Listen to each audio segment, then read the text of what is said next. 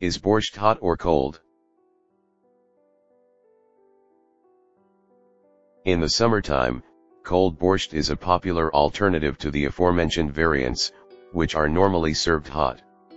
It consists of beet sour or beet juice blended with sour cream, buttermilk, soured milk, kefir, or yogurt.